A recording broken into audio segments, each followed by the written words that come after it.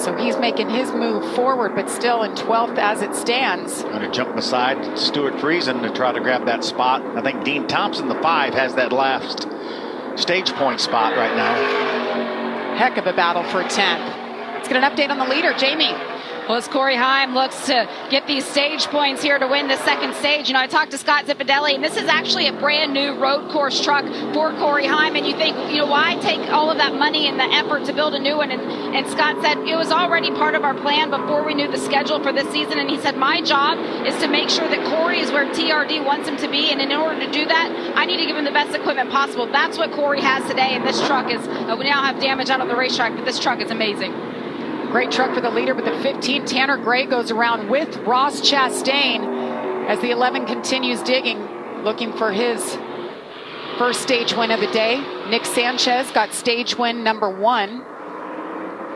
But great point by Jamie.